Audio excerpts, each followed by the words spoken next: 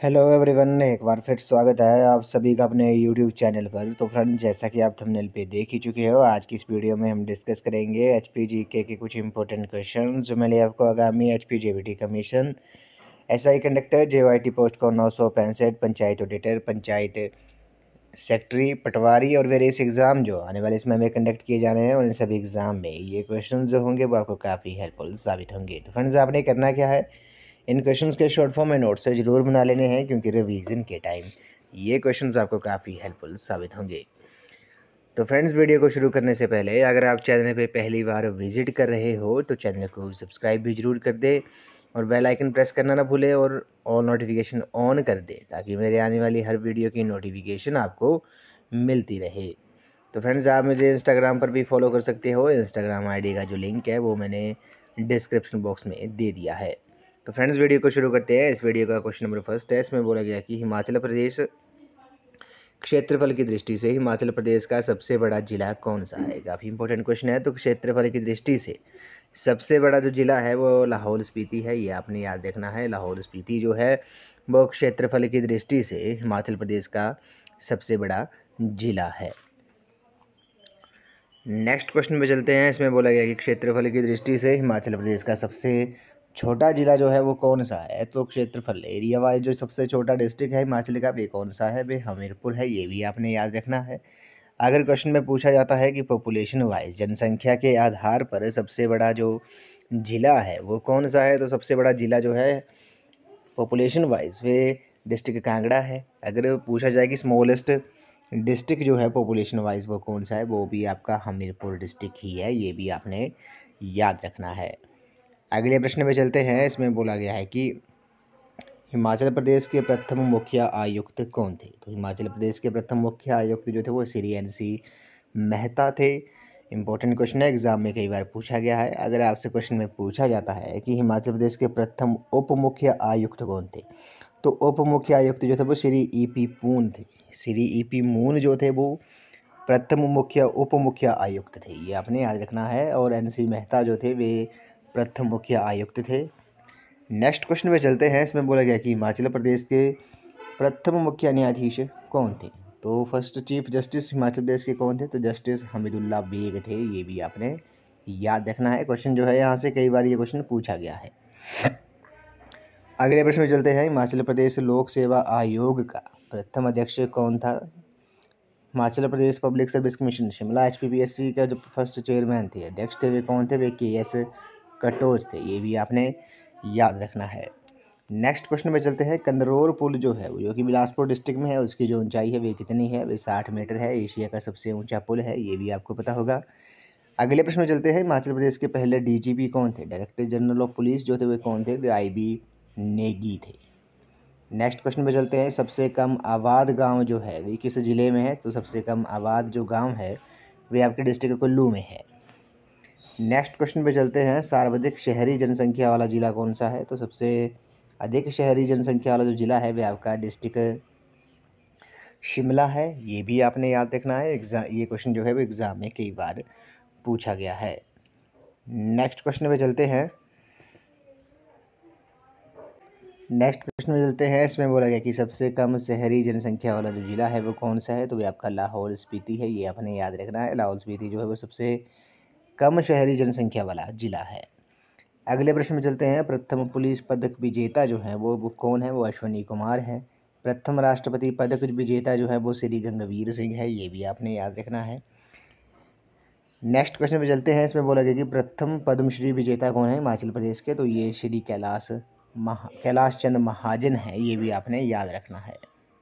Next question पे चलते हैं। इसमें बोला गया है कि कांगड़ा किले का जो अंतिम मुगल किलेदार था। वे कौन था? इंपॉर्टेंट क्वेश्चन है। एग्ज़ाम में कई बार पूछा गया है वेरियस एग्ज़ाम में। तो कांगड़ा किले का जो अंतिम मुगल किलेदार जो था वे कौन था? वे वे जीवन खान था। ये भी आपने याद रखना है। नेक्स्ट क्वेश्चन में चलते हैं। कांगड़ा राज्य की सबसे छोटी रियासत जो थी, वो कौन थी? वो कुटलहर थी। इंपॉर्टेंट है। नेक्स्ट क्वेश्चन पे चलते हैं। हिमाचल प्रदेश की सबसे लंबी सिंचाई परियोजना जो है, वो कौन सी है? वह शाह नहर परियोजना है, जो कि किस डिस्ट्रिक्ट में है। डिस्ट्रिक्ट कांगड़ा में है, ये भी आपने याद रखना है इम्पोर्टेंट क्वेश्चन है। अगले प्रश्न में चलते हैं, राज्य वित्त आयोग के प्रथम अध्यक्ष कौन थे? तो हिमाचल प्रदेश राज्य के वित्त फाइनेंस कमीशन के जो प्रथम अध्यक्ष थे, वे कौन थे? वे एस के चौहान थे। महान, प्रथम महान क्रांतिकारी साहित्यकार जो थे, वो कौन थे? ते, वे यशपाल थे। ये आपने याद रखना है, यशपाल थे डिस्ट्रिक्ट हमीरपुर से ये बिलोंग करते थे। ये क्वेश्चन भी पूछा जा सकता है कि प्रथम सॉरी, महान क्रांतिकारी यशपाल जो थे वो किस डिस्ट्रिक्ट से संबंधित थे? वे डिस्ट्रिक्ट हमीरपुर से संबंधित थे। अगले प्रश्न में चलते हैं। इसमें बोला गया है कि हिमाचल प्रदेश प्रशासनिक ट्रिब्यूनल ट्रिब्यूनल के प्रथम अध्यक्ष कौन थे? तो न्यायमूर्ति हीरा सिंह ठाकुर जो थे वो हिमाचल प्रदेश प्रशासनिक प्रशासनिक ट्रिब्यूनल के प्रथम अध्यक्ष थे, ये भी आपने याद रखना है। नेक्स्ट क्वेश्चन पे चलते हैं। इसमें बोला गया कि क्षेत्रफल की क्षेत्रफल में भारत का दूसरा और हिमाचल प्रदेश का सबसे बड़ा जो लोकसभा क्षेत्र है, वे कौन सा है? वे मंडी है, ये भी आपने याद रखना है। जो मंडी लोकसभा क्षेत्र है, वो भारत का दूसरा सबसे बड़ा लोकसभा क्षेत्र है। अगर क्वेश्चन में पूछा जाता है कि प्रथम लोकसभा सबसे बड़ा जो लोकसभा क्षेत्र है, वे कौन सा है? तो वे लद्दाख है, ये आपने नोट ऑन कर लेना है। और उसके बाद जो स्थान आता है वह मंडी का आता है। मंडी संसदीय क्षेत्र जो है हिमाचल प्रदेश का वो दूसरे स्थान पे आता है। नेक्स्ट क्वेश्चन में चलते हैं। हिमाचल प्रदेश की प्रथम महिला स्पीकर विधानसभा अध्यक्ष जो थी तो प्रथम महिला पूछा है। प्रथम महिला स्पीकर जो थी, वो श्रीमती विद्या स्टोक्स थी। प्रेजेंट में कौन है? प्रेजेंट में कुलदीप सिंह पठानिया है। डिस्ट्रिक्ट चंबा से बिलोंग करते हैं। बटियात विधानसभा चुनाव चुनाव बटियात विधानसभा क्षेत्र से वे चुन के आए हैं। ये भी आपने याद रखना है। नेक्स्ट क्वेश्चन में चलते हैं। इसमें बोला गया कि सोवियत संघ रूस की सहायता से निर्मित 800 मेगावाट की कोल बाँध परियोजना किस ज़िले में स्थित है? तो ये आपके डिस्ट्रिक्ट बिलासपुर में है। सतलुज नदी पर ये निर्मित है। ये भी याद रखना है। हिमाचल प्रदेश की अनुमानित जल विद्युत क्षमता जो है वे कितनी है? तो अनुमानित जल विद्युत क्षमता जो है वो तेईस हज़ार मेगावाट है। ये भी आपने याद रखना है। नेक्स्ट क्वेश्चन में चलते हैं। हिमाचल प्रदेश की कौन सी जल विद्युत परियोजना जो है वो पूर्णतः भूमिगत है? इंपॉर्टेंट क्वेश्चन है तो पूर्णतः जो भूमिगत है, वह संजय जल विद्युत परियोजना है, जिसे भावा जल विद्युत परियोजना भी कहा जाता है। किस डिस्ट्रिक्ट में है? डिस्ट्रिक्ट ये किन्नौर में है इम्पोर्टेंट क्वेश्चन है। नेक्स्ट क्वेश्चन पे चलते हैं।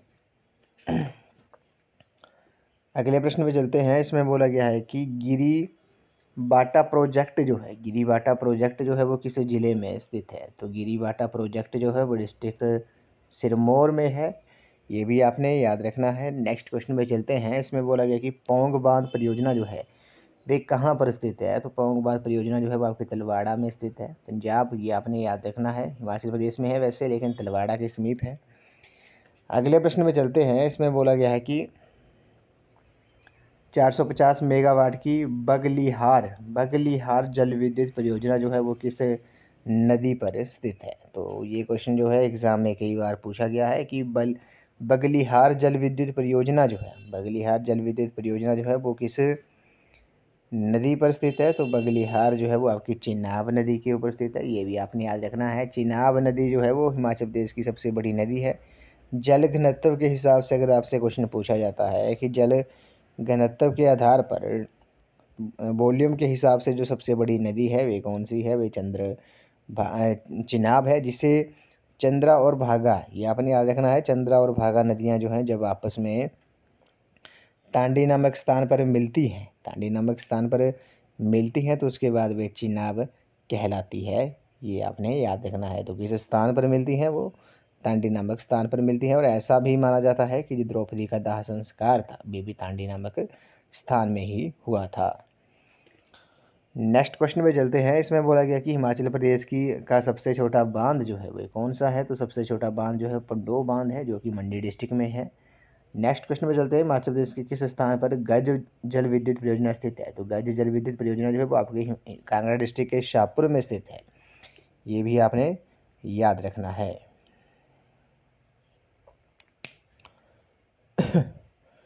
अगले प्रश्न में चलते हैं। इसमें बोला गया है कि सतलुज जल विद्युत निगम जो है हिमाचल प्रदेश के किस स्थान को विश्व बैंक की सहायता से 412 मेगावाट की जल विद्युत परियोजना स्थापित कर रही है तो सतलुज जल विद्युत निगम जो है, वो विश्व बैंक की सहायता से रामपुर, शिमला में 400 मेगा बारह मेगावाट की जल विद्युत परियोजना जो है, वो स्थापित कर रही है।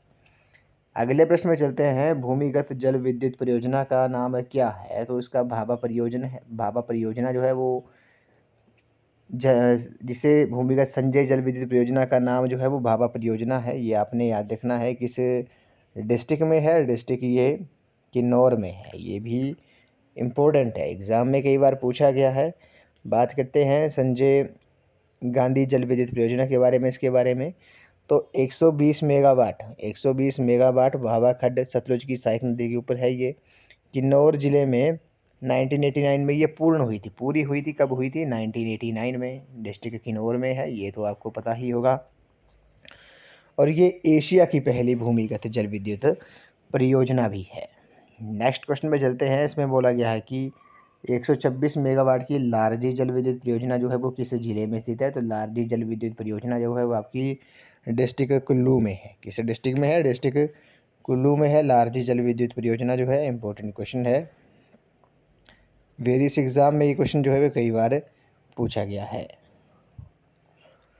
और 126 मेगावाट इसकी कैपेसिटी है, कुल्लू डिस्ट्रिक्ट में है और किस नदी के ऊपर है? ये ब्यास नदी के ऊपर है। और एक बात आपने और याद रखनी है, हिमाचल प्रदेश, हिमाचल सरकार द्वारा निर्मित सबसे बड़ी जल विद्युत परियोजना है। ये आपने याद रखना है, हिमाचल प्रदेश सरकार द्वारा सबसे बड़ी जल विद्युत परियोजना जो है वो आपकी लारजी है, जो कि कुल्लू डिस्ट्रिक्ट में है, किस नदी के ऊपर है? व्यास नदी के ऊपर है। अगले प्रश्न में चलते हैं। हिमाचल प्रदेश की जल विद्युत क्षमता जो है वो कितनी है? तो इक्कीस हज़ार पाँच सौ मेगावाट जो है वो हिमाचल प्रदेश की जल विद्युत क्षमता है। अगले प्रश्न में चलते हैं। नाथपा झाकड़ी जल विद्युत परियोजना के सुरंग की लंबाई जो है वो कितनी है? तो वो आपकी अट्ठाईस किलोमीटर है, ये भी आपने याद रखना है। नेक्स्ट क्वेश्चन में चलते हैं। एक हज़ार बीस मेगावाट की खाप जल विद्युत परियोजना किन्नौर ज़िले में किस नदी पर बनाई जा रही है? तो ये आपकी सतलुज नदी के ऊपर बनाई जा रही है। अगले प्रश्न में चलते हैं। हिमाचल प्रदेश में स्थित कौन सी जल विद्युत परियोजना पर किसी और राज्य का नियंत्रण है? तो शानन जल विद्युत परियोजना जो है, वो मंडी डिस्ट्रिक्ट में है। या एक बात आपने याद रखनी है। ये हिमाचल प्रदेश की सबसे पुरानी जल विद्युत परियोजना है, शानन जल विद्युत परियोजना, जो कि जोगिंद्र नगर मंडी में स्थित है। लेकिन आपने एक बात याद रखनी है, ये जो है जल विद्युत परियोजना शानन जो है, वो पंजाब सरकार के अधीन आती है। ये आपने नोट डाउन कर लेना है। तो ये पंजाब गवर्नमेंट के अधीन आती है। शानन जल विद्युत परियोजना जो है, हिमाचल प्रदेश की ये सबसे पुरानी जल विद्युत परियोजना है। अगले प्रश्न में चलते हैं। चमेरा जल विद्युत परियोजना जो है, वो किस ज़िले में स्थित है? तो चमेरा जल विद्युत परियोजना जो है, वो डिस्ट्रिक्ट चंबा में है। किस नदी के ऊपर है? ये रावी नदी के ऊपर है। अगले प्रश्न में चलते हैं। बिनवा जल विद्युत परियोजना जो है, वो किस ज़िले में स्थित है? तो बिनवा जल विद्युत परियोजना जो है, वो आपका कांगड़ा में है। कांगड़ा में है किस खड पे है? बानू खड पर है। ये भी आपने याद रखना है तो विनवा जल विद्युत परियोजना जो है, वो आपके डिस्ट्रिक्ट कांगड़ा में है। किस डिस्ट्रिक्ट में है? डिस्ट्रिक्ट कांगड़ा में है। और इसकी जो कैपेसिटी है, वो छः मेगावाट है। बैजनाथ कांगड़ा में है, बानू खड जो कि ब्यास नदी की सहायक नदी है। ये भी आपने याद रखना है, बानू खड जो है, वो किसकी सहायक नदी है? वो ब्यास नदी की सहायक नदी है। और बिनवा जल विद्युत परियोजना जो है, वो आपकी कांगड़ा डिस्ट्रिक्ट के बैजनाथ उपमंडल में है। नेक्स्ट क्वेश्चन पे चलते हैं। इसमें बोल गई शोंग टोंग कड़छम जल विद्युत परियोजना किस नदी पर है? तो शोंग टोंग कड़छम जल विद्युत परियोजना जो है वो सतलुज नदी के ऊपर है और किस डिस्ट्रिक्ट में है? ये डिस्ट्रिक्ट किन्नौर में है। किस डिस्ट्रिक्ट में है? डिस्ट्रिक्ट किन्नौर में है। और 450 मेगावाट इसकी कैपेसिटी है। किन्नौर डिस्ट्रिक्ट में है, सतलुज नदी के ऊपर है। एक बात आपने और याद रखनी है, अगर आपसे रोंग टोंग पूछा जाता है तो रोंग टोंग परियोजना जो है वो आपकी लाहौल स्पीति डिस्ट्रिक्ट में है, दो मेगावाट इसकी कैपेसिटी है रोंग टोंग नाले के ऊपर है और स्पीति की नदी की ये सहायक नदी है। अगले प्रश्न में चलते हैं, इसमें बोला गया कि हिमाचल प्रदेश में 2014-15 में लगभग कितने बायोगैस यंत्र लगाने का लक्ष्य रखा गया था? तो वो 300 का रखा गया था। हिमाचल प्रदेश में 2014-15 में ये आपने याद रखना है। नेक्स्ट क्वेश्चन में चलते हैं। इसमें बोला गया है कि अक्षय ऊर्जा दोहन कर, करने में हिमाचल प्रदेश का भारत में कौन सा स्थान रहा है? तो प्रथम स्थान रहा है 2015 में। अगले प्रश्न में चलते हैं। पूर्व प्रधानमंत्री राजीव गांधी और पूर्व सोवियत राष्ट्रपति मिखाइल गोरबाचेव के मध्य हस्ताक्षरित संलेख में कौन सी जल विद्युत परियोजना शामिल की गई थी? तो कोल डैम प्रोजेक्ट जो था कोल डैम प्रोजेक्ट जो था वो शामिल किया गया था। अगले प्रश्न में चलते हैं। हिमाचल प्रदेश के किस ज़िले में एक हज़ार मेगावाट की कड़छम जल वांगटू कड़छम वांगटू जल विद्युत परियोजना स्थित है? तो ये आपकी डिस्ट्रिक्ट किन्नौर में है। ये आपने याद रखना है किस डिस्ट्रिक्ट में है, डिस्ट्रिक्ट किन्नौर में है। ये भी इम्पोर्टेंट है। अगले प्रश्न पे चलते हैं। नेक्स्ट क्वेश्चन पे चलते हैं। इसमें बोला गया है कि हिमाचल प्रदेश राज्य विद्युत बोर्ड द्वारा संचालित सबसे बड़ी जल विद्युत परियोजना कौन सी है? वो पार्वती है। दो मेगावाट की रोंगटोंग जल विद्युत परियोजना किस ज़िले में स्थित है? तो रोंगटोंग जो है आपकी लाहौल स्पीति में है, शोंगटोंग, किन्नौर में है। नाथपा से झाकड़ी तक सुरंग की जो लंबाई है, वे कितनी है? वह सताईस दशमलव आठ किलोमीटर है, ये भी आपने याद रखना है। हिमाचल प्रदेश की सबसे बड़ी जल विद्युत परियोजना जो है वो कौन सी है? वो पार्वती परियोजना है, जो कि किस डिस्ट्रिक्ट में है, कुल्लू में है। दो हज़ार दो हज़ार इक्यावन जो है मेगावाट जो है इसकी कैपेसिटी है। नेक्स्ट क्वेश्चन में चलते हैं, उन्नीस सौ छियासठ के राज्य पुनर्गठन अधिनियम के द्वारा। पंजाब सरकार द्वारा हिमाचल प्रदेश को बिजली पर कितने प्रतिशत रॉयल्टी देने का वादा किया है? तो बारह प्रतिशत का, ये आपने याद रखना है। सोलह दशमलव पाँच मेगावाट की आंध्रा जल विद्युत परियोजना जो है वो आपकी कहाँ स्थित है? वो डिस्ट्रिक्ट शिमला में है चीटगाम में, ये आपने याद रखना है। विश्व बैंक की सहायता से हिमाचल प्रदेश में निर्मित 1500 मेगावाट की जल विद्युत परियोजना जो है वो कौन सी है? वे नाथप्पा झाकड़ी जो है वो विश्व बैंक की सहायता से हिमाचल प्रदेश में निर्मित जल विद्युत परियोजना है। अगले प्रश्न में चलते हैं। संजय, जल विद्युत परियोजना किस नदी पर स्थित है? तो जिसे भाभा जल विद्युत परियोजना भी कहा जाता है। एशिया की ये पहले, एशिया की पहली भूमिगत जल विद्युत परियोजना है। डिस्ट्रिक्ट किन्नौर में है। किस नदी पे है? सतलुज नदी के ऊपर है। अगले प्रश्न में चलते हैं। शानन जल विद्युत परियोजना किस ज़िले में स्थित है? मंडी के जोगिंद्र नगर में है और ये पंजाब सरकार के अधीन आती है। छोटी जल विद्युत परियोजना के निर्माताओं द्वारा स्थानीय विकास निकास निधि, विकास निधि के लिए कितने प्रतिशत बिजली मुफ़्त उपलब्ध करवाई जाती है? तो बारह प्रतिशत मुफ़्त करवाई जाती है। Plus one percent L A D F royalty जो है वो दी जाती है। नेक्स्ट क्वेश्चन में चलते हैं। कड़छम वांगटू जल विद्युत परियोजना का कार्यान्वयन कौन सा संगठन कर रहा है? तो वो जेपी ग्रुप कर रहा है। सबसे बड़ी निजी जल विद्युत परियोजना है। वर्तमान में जेपी ग्रुप ने इसे आबू धाबी की टाका कंपनी को इसे बेच दिया है। अगले प्रश्न में चलते हैं। शाहन जल विद्युत परियोजना किसके अंतर्गत आती है? तो पंजाब राज्य विद्युत बोर्ड के अंतर, अंतर्गत आती है। 2010 तक हिमाचल प्रदेश की जल विद्युत क्षमता में कितने मेगावाट का दोहन हो चुका है? तो उनहत्तर सौ मेगावाट का दोहन हो चुका है। नाथपा झाकड़ी जल विद्युत परियोजना हिमाचल प्रदेश का हिस्सा कितने प्रतिशत है? तो पच्चीस प्रतिशत है। अगले प्रश्न में चलते हैं। नाथपा झाकड़ी जल विद्युत परियोजना के लिए कौन धन उपलब्ध करवा रहा है? तो विश्व बैंक और सेंट्रल गवर्नमेंट। नेक्स्ट क्वेश्चन में चलते हैं। इसमें बोला गया है कि पूर्णता भूमिगत विद्युत उत्पादन होता है तो कहाँ से? तो वही आपके संजय जल विद्युत परियोजना, किन्नौर से। शिमला की पब्बर नदी पर बनने वाली परियोजना जो है वो धमुराडी सुंडा परियोजना है। ये आपने याद रखना है, धमुराडी सुंडा परियोजना जो है वो आपकी शिमला की पब्बर नदी पर स्थित है। हिमाचल प्रदेश सरकार के अंतर्गत के अधीन परियोजना कौन कौन सी है? स्पीति की रोंगटोंग होगी, भ्रमौर विद्युत घर हो गया, मंडी वसी विद्युत घर हो गया। अगले प्रश्न में चलते हैं। निजी प्राइवेट जल विद्युत परियोजना कौन सी है? कांगड़ा न्यूगुल हो गया किन्नौर कड़छम हो गया वांगटू कड़ शाहपुर गज ये आपने याद रखना है। दो हज़ार इक्यावन मेगावाट वाले पार्वती योजना पर सबसे अधिक खर, खर्च जो है वो कौन कर रहा है? तो वो कौन सा राज्य कर रहा है? तो वो राजस्थान कर रहा है। कोल डैम जो है वो हाखड़ा बाँध की आयु दस वर्ष बढ़ा देगा। भारत और रूस की सहायता से बना है ये भी आपने याद रखना है। भाखड़ा बाँध जो है वो किस डिस्ट्रिक्ट में है? डिस्ट्रिक्ट बिलासपुर में है उन्नीस में बना था। उसके बाद बात करते हैं, हिब्रा जो है वो चंबा में स्थित है जल विद्युत परियोजना, थिरोट जो है लाहौल स्पीति में, घानवी जो है वो शिमला में स्थित जल विद्युत परियोजनाएँ हैं।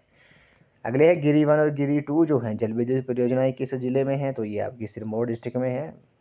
बैरास्यूर जल विद्युत परियोजना किस ज़िले में है? चंबा डिस्ट्रिक्ट में है। धौला से जल विद्युत परियोजना की उत्पादन क्षमता कितनी है? छियासठ मेगावाट है।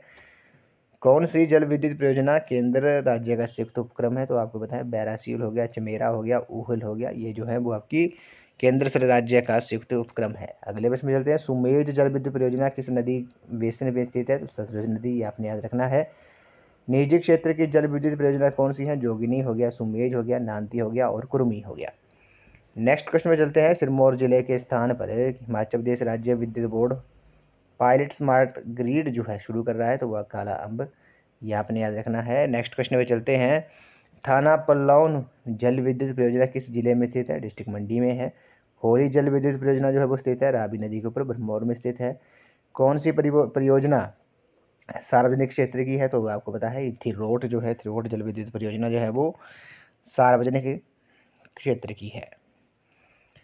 उसी तरह बात करते हैं, धमवाड़ी सुंडा जल विद्युत परियोजना किस नदी पर स्थित है? तो पब्बर नदी के ऊपर स्थित है। अगले प्रश्न में चलते हैं, शीशु जल विद्युत परियोजना किस नदी बेसिन का हिस्सा है तो वो आपका चिन्नाब नदी के बेसिन का, ये भी आपने याद रखना है। अगले प्रश्न में चलते हैं। इसमें बोला गया है कि, इसमें बोला गया है कि वर्ष 2016-17 के आर्थिक सर्वेक्षण अनुसार हिमाचल देश की कुल पहचानी गई जल विद्युत क्षमता में कितने प्रतिशत का दोहन किया जा चुका है? तो सैंतीस दशमलव सात तीन प्रतिशत का। इस वीडियो का ये लास्ट क्वेश्चन है। इसमें बोला गया कि एक परिवार को सस्ती दरों पर हिमाचल प्रदेश में कितने एलईडी बल्ब दिए जा रहे थे? 2017 में तो वो दस बल्ब दिए जा रहे थे। तो फ्रेंड्स आज की इस वीडियो में बस इतना ही। आज हमने एच के कुछ इंपॉर्टेंट क्वेश्चन डिस्कस किए, जो मेरे लिए आपको आगामी H P commission S I conductor J post को नौ सौ पैंसठ, पंचायत ऑडिटर पटवारी और वेरियस एग्ज़ाम जो आने वाले इसमें हमें कंडक्ट किए जाने हैं, उन्हें सभी एग्ज़ाम में ये क्वेश्चन जो होंगे, वो आपको काफ़ी हेल्पफुल साबित होंगे। तो फ्रेंड्स आई होप आपको ये वीडियो पसंद आई होगी तो वीडियो को लाइक शेयर एंड कमेंट ज़रूर कर दें और चैनल को भी सब्सक्राइब ज़रूर कर दें और बेल आइकन प्रेस करना ना भूलें ताकि मेरे आने वाली हर वीडियो की नोटिफिकेशन आपको मिलती रहे। तो फ्रेंड्स आप मुझे इंस्टाग्राम पर भी फॉलो कर सकते हो। इंस्टाग्राम आईडी का जो लिंक है, वो मैंने डिस्क्रिप्शन बॉक्स में दे दिया है। तो आज की इस वीडियो में इतना ही। तो थैंक यू फ्रेंड्स